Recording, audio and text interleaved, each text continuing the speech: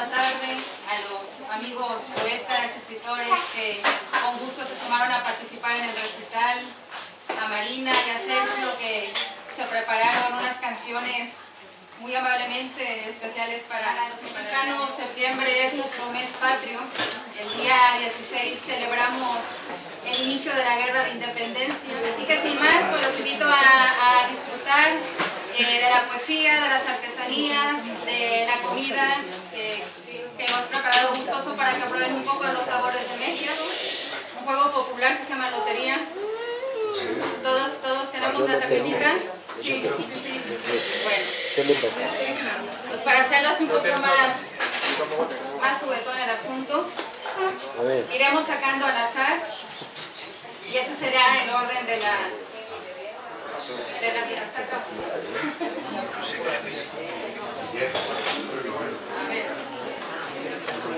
El gallo creció en Chiapas y su familia era chapaneca y se considera que nació en 1925 y murió en 1974.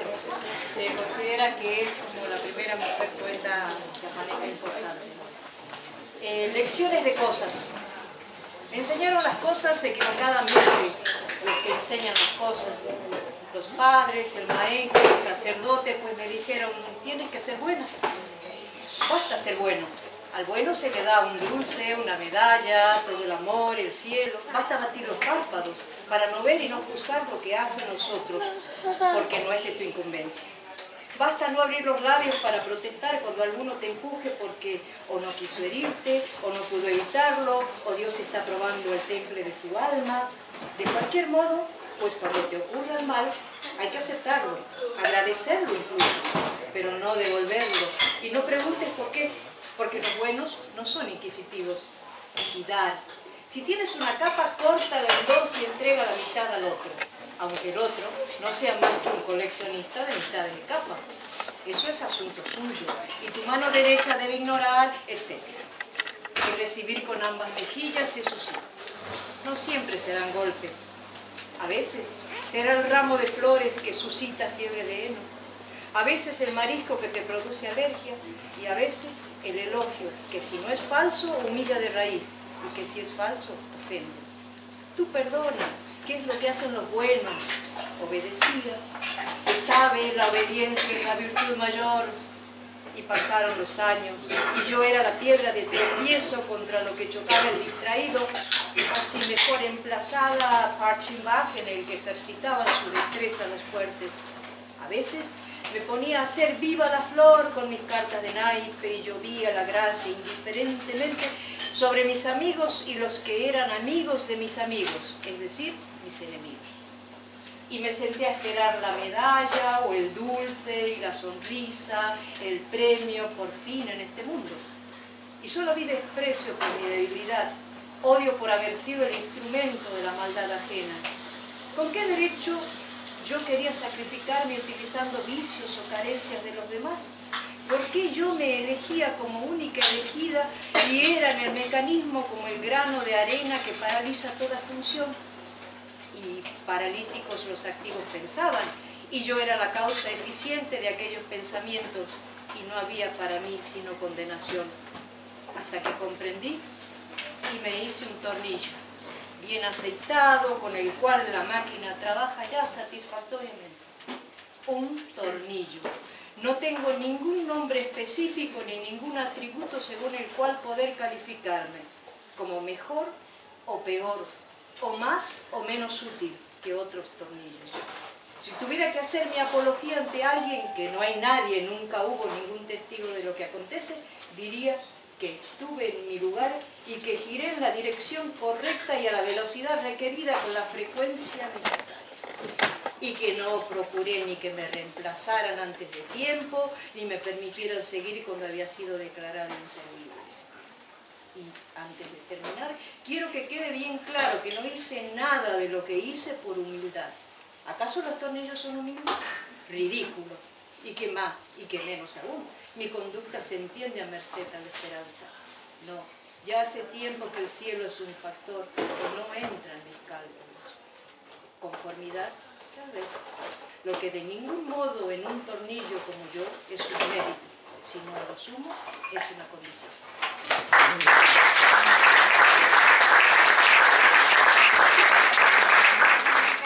Va a decir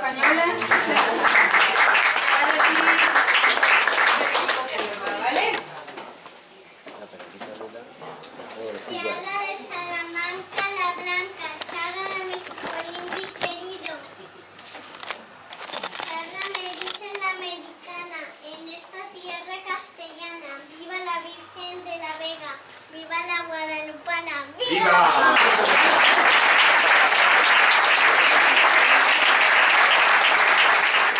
un poema de Jaime Sabines que me parece muy bonito y creo que he coincidido con la anfitriona sin saberlo. Eh, se titula No es nada de tu cuerpo. No es nada de tu cuerpo, ni tu piel, ni tus ojos, ni tu vientre, ni ese lugar secreto que los dos conocemos, fosa de nuestra muerte, final de nuestro entierro no es tu boca tu boca, que es igual que tu sexo, ni la reunión exacta de tus pechos, ni tu espalda dulcísima y suave, ni tu ombligo en que bebo. Ni son tus muslos duros como el día, ni tus rodillas de marfil al fuego, ni tus pies diminutos y sangrantes, ni tu olor, ni tu pelo. No es tu mirada, ¿qué es una mirada? triste luz descarriada, paz sin dueño, ni el álbum de tu oído, ni tus voces, ni las ojeras que te dejó el sueño, ni es tu lengua de víbora tampoco, flecha de avispas en el aire ciego, ni la humedad caliente que te asfixia, que te sostiene tu beso. No es nada de tu cuerpo, ni una brigna, ni un pétalo, ni una gota, ni un grano, ni un momento. Es solo este lugar, estos, mis brazos tercos.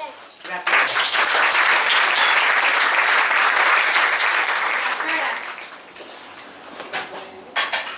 Primero vivir y después filosofar, ¿no?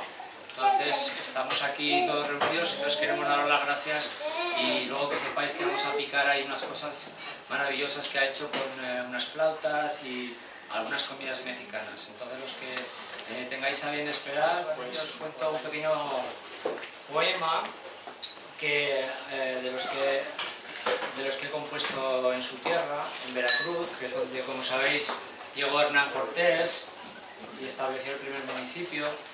Entonces este poema cortito se llama Rumbo a Veracruz, de donde es nuestra anfitriona, Rumbo a Veracruz. Ella se alzó como flor, como animal, como animal salvaje, como sueño. El océano se me tuvo que llevar rumbo a Veracruz. Pero ahora sí que sin Cortés y sin indios totonacas. Ahora hay un puesto de Coca-Cola para náufragos. Ya está.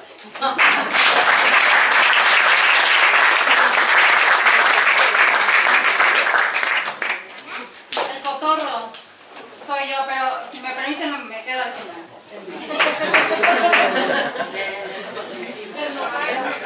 Ah, muy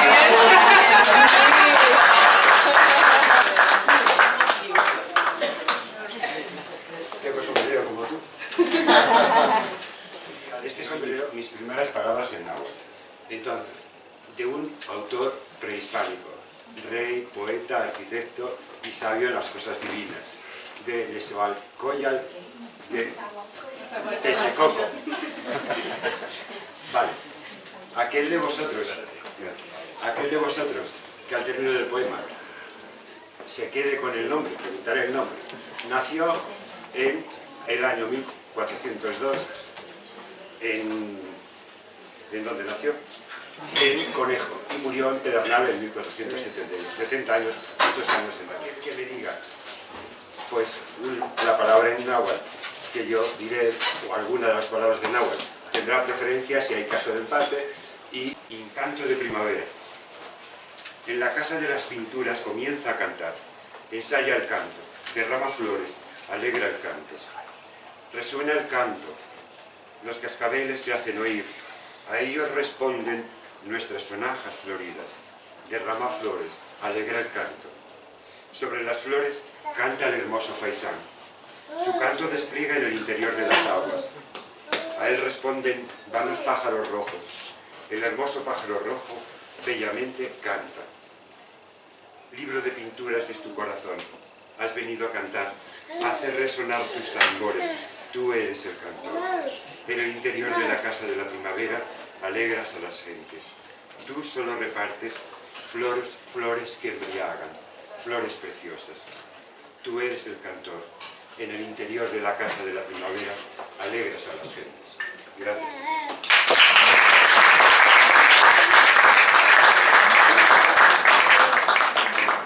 ¿Cómo se llamaba el?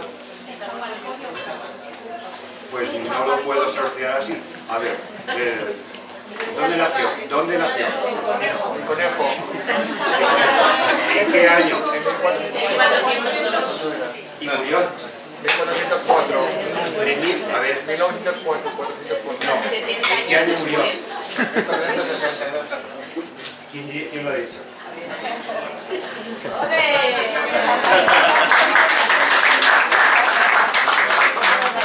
verdad. A ver, ¿qué cojo?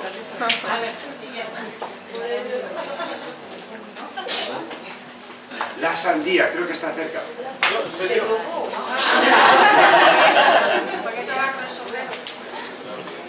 Muchas gracias.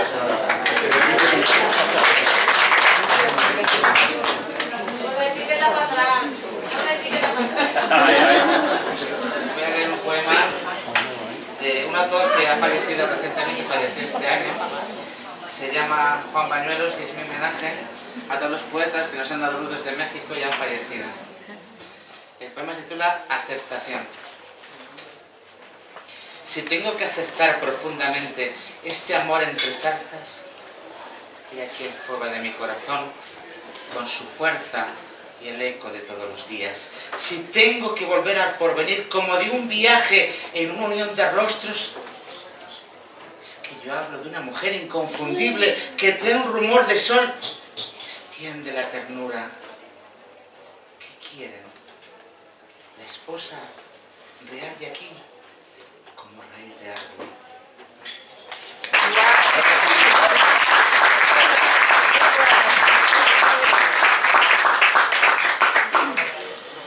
La calavera. Yo les voy a leer unas líneas de una obra de teatro que he escrito sobre Chabela Vargas. Soy Isabel Vargas Lizcano. Nací en Costa Rica un 17 de abril de 1919, en el barrio del Cantón de San Joaquín de Flores, en la provincia de Hereda, al norte de la capital.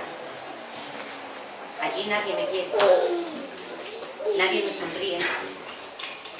Mi madre, Herminia Lizcano, medio chambona a ella, medio neurótica, tampoco. Huelo su rechazo. Y de ese dolor me nace una rabia que puedo atravesar una pared. Pero soy chúcara, porque tengo sangre indomable. Y con 15 años vendí unas gallinas, un ternerillo y compré un, bile- un boleto de, de avión. Monté en un avión de dos hélices rumbo a México. Y cuando vi la bandera, supe que México iba a acompañarme hasta el día de mi muerte. México y yo nos enamoramos a primera vista. Me trató duro, sí. Pero para que yo aprendiera a enfrentar la vida. ¿Quieres cantar? Aguanta, me dijo. Y yo supe aguantar. Yo quería hacerme un nombre. Ser contadora de historias del alma. Encontrar mi propio estilo. Utilicé mi guitarra, pespunteando muy a la forma revolucionaria. Marimacha, Chabela, la del jorongo, me llamaban. Me insultaban porque iba de parranda con los hombres, porque cantaba en las cantinas, en fiestas privadas, en bares y en cabarets. Me propuse cantar diferente, sin mariachi, sin ruido, sola. sola con mi jorongo y mi guitarra. Me puse pantalón de manta, una blusa blanca sencilla y sandalias al estilo indígena, un cigarro y un tequila. Canta como te salga del alma, me decía a mí misma.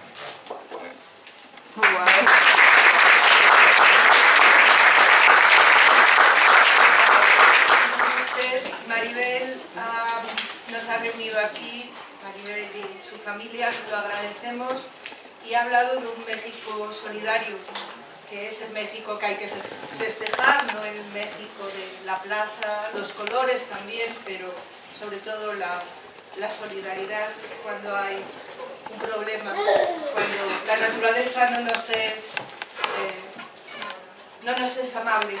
Eh, y dentro de la solidaridad está la escritora que yo he elegido, Elena Poniatowska, periodista, novelista, activista y poeta. Ángel de la Guarda. Mi madre recomienda dejar abierta la ventana para que entre el ángel de la guarda. Tras de mi cama, el ángel respira con sus alas. En Francia, el ángel, porcelana blanca, sonreía boquita de cereza, papel de china, engrudo carrizo y un poco de morado. He aquí las señales del ángel mexicano. El que teníais ahí, el ángel de la, de la independencia. El ángel argüendero, cacarea revueltas en un batir, en un batir de alas sus cabellos erizan. En la cabeza lleva un barco de periódico, reparte a las volandas notas de sangre roja. Ángel papelero, los pasantes le clavan agujas de rabia bajo las plumas. Olvidaste las alas, dice Dios cuando vuelve. ¿Cómo voy a olvidarlas si me duelen? Dios le regaña. En la noche esparce noticias estelares. Mete a la recámara a la osa mayor. Al alba el ángel, flamenco rosa, palidece. Escapa por la ventana y deja el cielo mexicano vacío de constelaciones.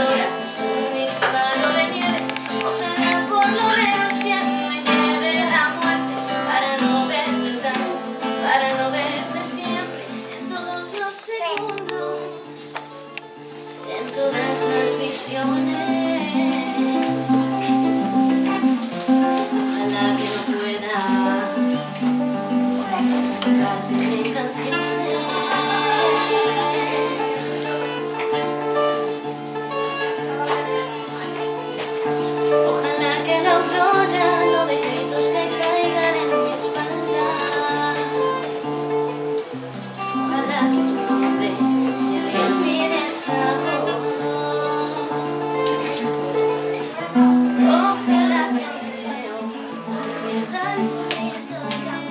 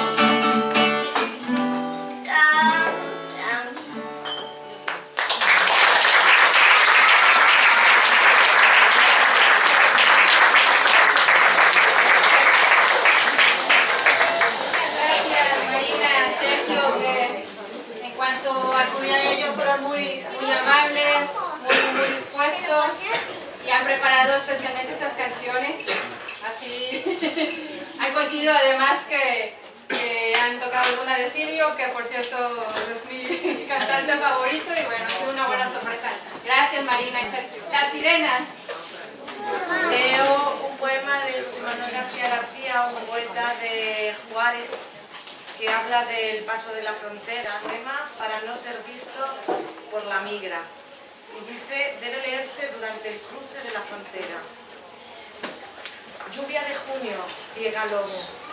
Nube del oriente, aplástalos. Mirada que espera el sello, quémalos. Sonrisa amable de los hombres, sea para ellos la pesadilla eterna. Boca de mujer virgen, escúpelos, maldícelos, llénalos de olvido. Ojos de Dios, marca los pasos de vejez cansada. Llévales la muerte a casa, pasaporte negado. Dales la ceguera de los viejos, la dulzura del niño, el dolor de la pobreza. Que sufran sepultados vivos, que vuelvan al quinto día, un lunes a las 10 de la mañana, en fila de espera larga, sin el documento, la firma, el sello. Que esperen, así la vida eterna, un mes y un par de siglos, y Dios le dé su pasaporte al paraíso, espíritu legal, cuerpo de muerte, y en la muerte beban su tacita de café, su amor de patio, donde juegan los hijitos, feliz hogar, legal certificado, y el infierno, y el infierno le reclame nueva ley, cambio de reglas, y de nuevo a la ceguera, a la vía de oficio, perro guardián del paraíso, que las sombras de la noche les beban los ojos, ahora, mañana y siempre.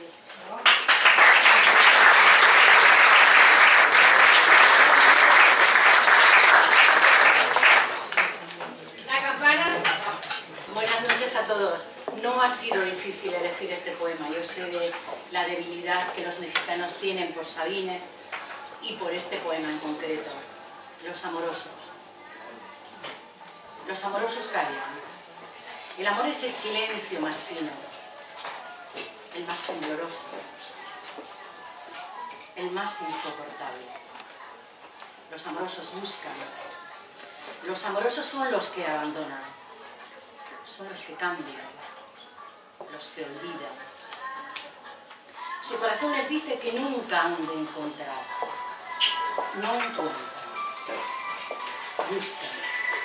Los amorosos andan como locos porque están solos. Solos, entregándose, dándose a cada rato. Llorando porque no salvan al amor. Les preocupa el amor. Los amorosos viven al día, no pueden hacer más, no saben hacer más. Siempre se están yendo, siempre hacia alguna parte.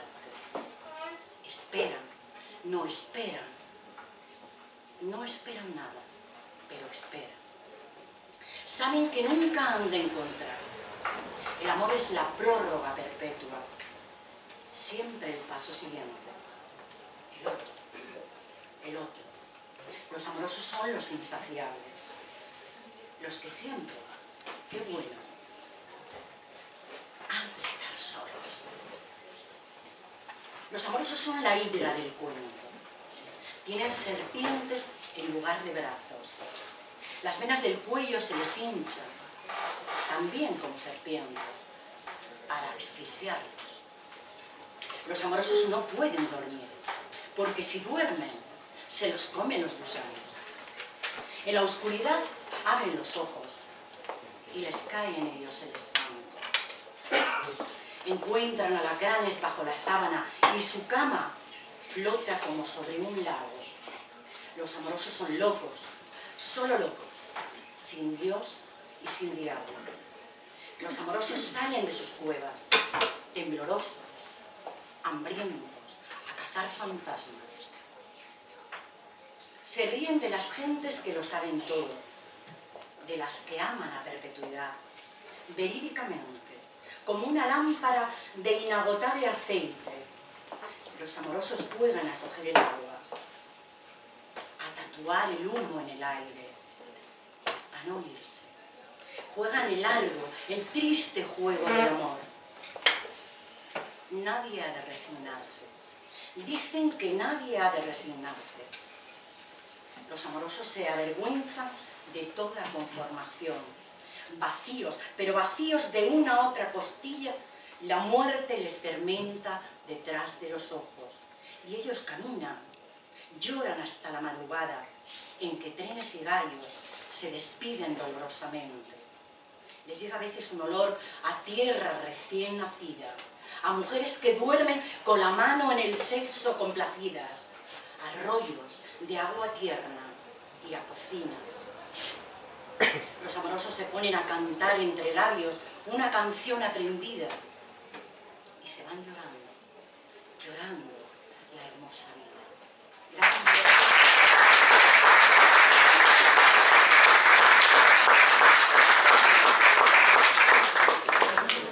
La bandera que, por cierto, es considerada la bandera más bonita del mundo.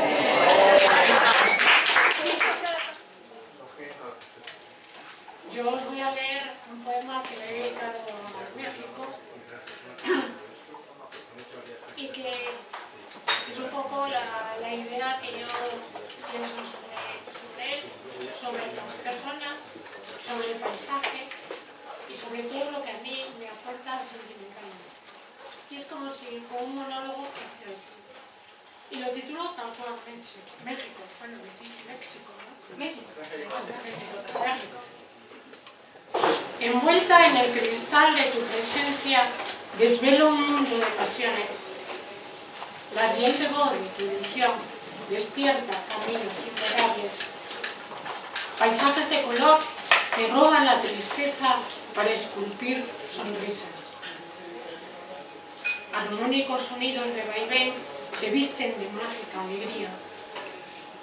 Abanican disfraces en mi piel con danzas de un cálido sentir. La tierra descalza su belleza para vestir de luz tu melodía con un nido de palabras, estrellas del sentimiento acariciando tu voz. Gracias.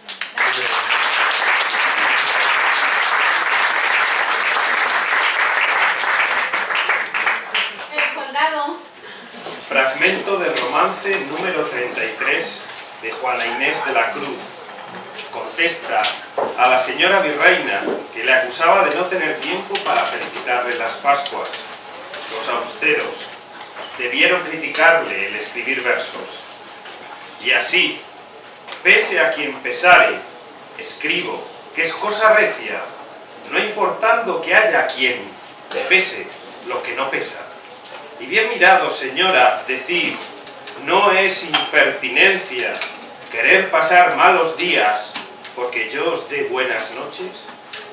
Si yo he de daros las Pascuas, ¿qué viene a importar que sea en verso o en prosa, o con estas palabras o aquellas? Y más, con esto corre el discurso tan apriesa que se tarda la pluma más que pudiera la lengua. Si es malo yo no lo sé, sé que nací tan poeta que azotada como Ovidio suenan en metros mis quejas. Como poeta nació Elba Maribel Hernández Miranda y siendo de México no podía faltar en esta noche un poema suyo. Nocturno. El mar de noche devuelve su tiniebla a los ángeles. En tal entrega es sordo el mensaje del agua si se busca salvación. El sueño marino, si recuerdas, tuvo alas más húmedas y por ellas caímos a la voluble luz que viene y va con las mareas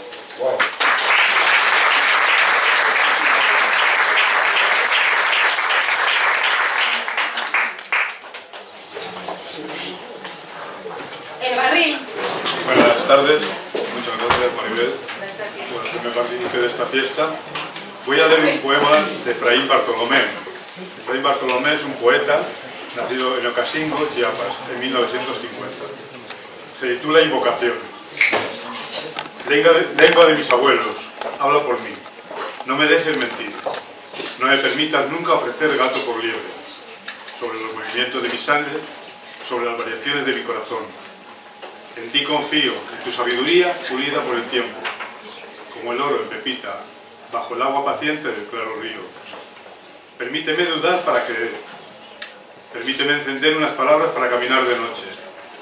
No me dejes hablar de lo que no he mirado, de lo que no he tocado con los ojos del alma, de lo que no he vivido, de lo que no he palpado, de lo que no he mordido. No permitas que salga por mi boca o mis dedos una música falsa, una música que no haya venido por el aire hasta tocar mi oreja, una música que antes no haya tañido el alpa ciega de mi corazón. No me dejes tumbar en el vacío, como los abejorros ante el vidrio nocturno. No me dejes callar cuando sienta el peligro, cuando encuentre oro. Nunca un verso permíteme insistir que no haya despepitado la almeja oscura de mi corazón. Habla por mí, lengua de mis abuelos, madre y mujer. No me dejes faltarte, no me dejes mentir, no me dejes caer, no me dejes, no.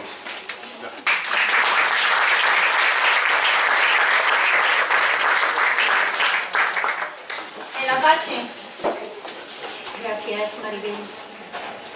Y también a México este homenaje que le dedicó José Emilio Pacheco, poeta que paseó muchas veces por Salamanca escribió en No me preguntes cómo pasa el tiempo, un poema titulado Alta Traición, que los poetas mexicanos a menudo recitan porque es una manera de agradecer este día. Alta traición. No amo mi patria.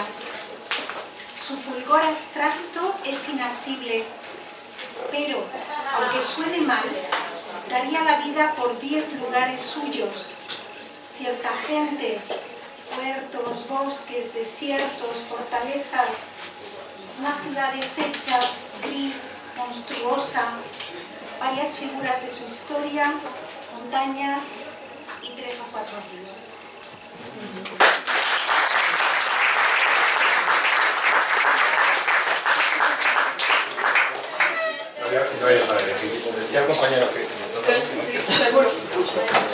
Buenas noches, gracias de nuevo, Maribel. El poema de Octavio Paz dice así. Yo escribo a la luz de una lámpara los absolutos, las eternidades y sus aledaños. No son mi tema. Tengo hambre de vida, también de morir. Sé lo que creo y lo escribo. Advenimiento del instante, el acto, el movimiento en que se esculpa y se deshace al ser entero. Conciencia y manos para asir el tiempo. Soy una historia, una memoria que se inventa. Nunca estoy solo. Hablo siempre contigo. Hablas siempre conmigo. A oscuras voy y planto signos.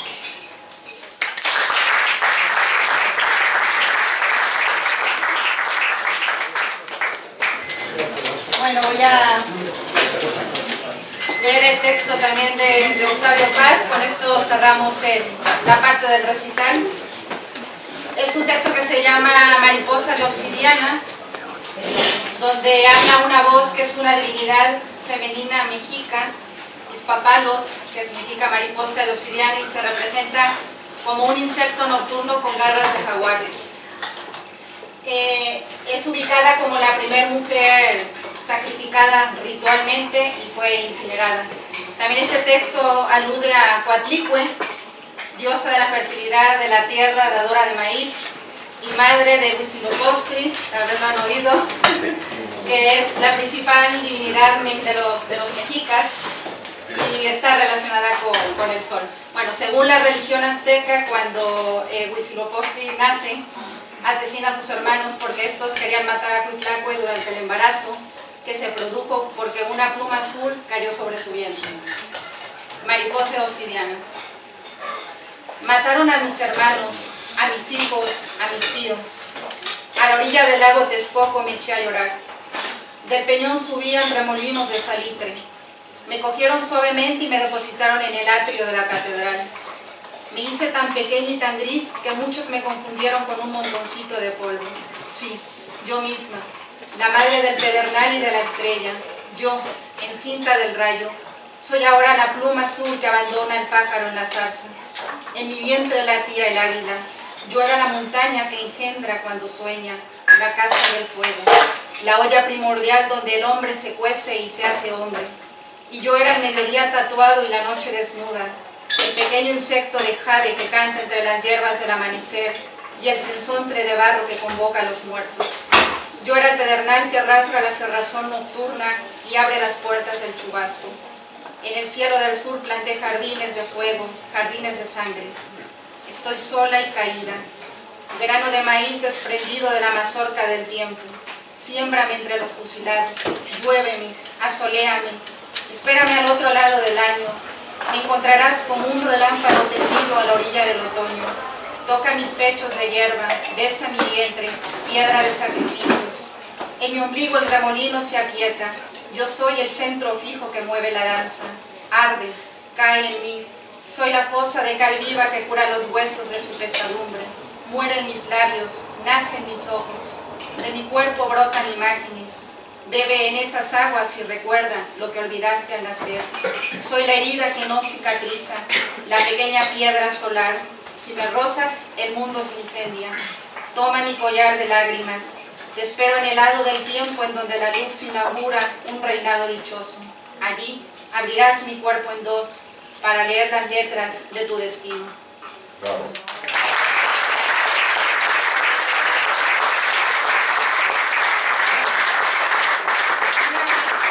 Una sorpresa de, de- de última hora y es que se suma a la música Nela Escribano. Nela, ¿dónde estás? Muchas gracias, Nela.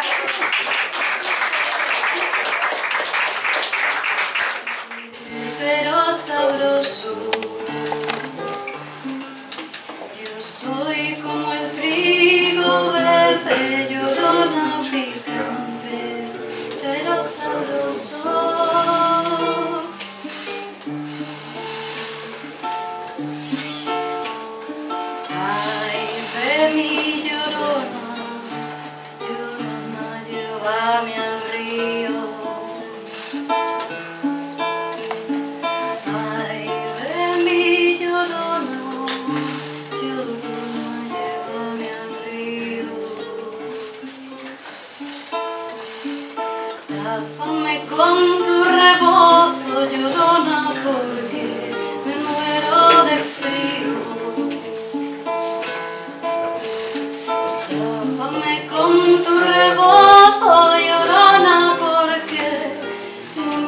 Muero de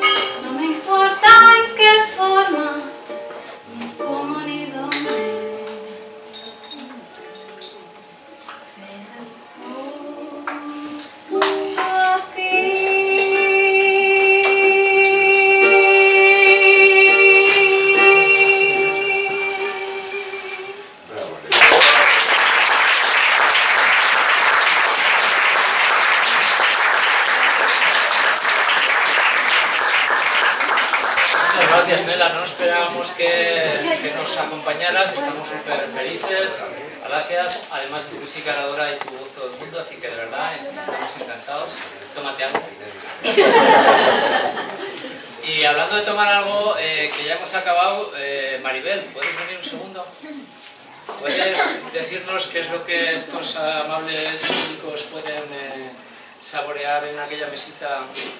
A ver, ¿Qué cositas has- nos has cocinado? A ver, Maribel. no sé si le suene algo bueno a María Ángeles Chalo, que han estado en México varias veces. Eh, es comida, a ver, mexicana, no lo que se conoce como mexicano, de nachos o estas cosas, que es lo Tex-Mex, ¿no? Es sobre todo comida eh, de mi región, de Veracruz y de, la- de las Huastecas de, de México, toda base de maíz, de, del frijol, y bueno, ha sido un poco adaptado también para no envenenar a nadie con el chile. Entonces, bueno, se llaman sopes, tostadas, eh, tacos de canasta que son, bueno, del- del centro del país, que son tacos a- al vapor. Eh, y bueno, ahí verán también salsas, están señaladas de aguacate, de tomate, que son las inofensivas. Y luego el apartadito de tres que están ubicadas de este lado, que son picantes. Y bueno, Veracruz se come mucho picante, así que sí pican. Así que, que, que adelante.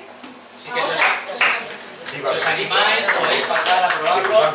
Y solo una cosa más, eh, hay en la parte, entrando a la derecha, un pequeño expositor de, de pequeñas artesanías, objetos artesanales, hechos por también la propia Maribel, que tienen a veces algunos versos, eh, porque como sabéis tiene una especie de pequeño taller que se llama Arte con Verso.